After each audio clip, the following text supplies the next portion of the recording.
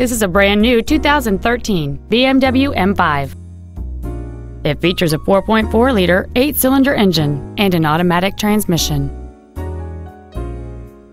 Its top features and packages include the driver assistance package, a navigation system, comfort access, BMW apps, a heated steering wheel, a power moonroof, heated front seats, satellite radio, and high intensity discharge headlights.